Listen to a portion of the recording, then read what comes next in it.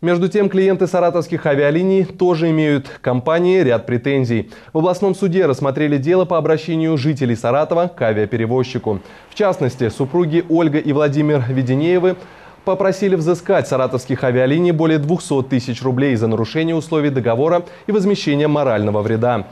Пара отдыхала в Чехии, и авиаперевозчик не предупредил их об изменении времени обратного вылета. В итоге супруги вынуждены были возвращаться в Саратов через Самару за свой счет.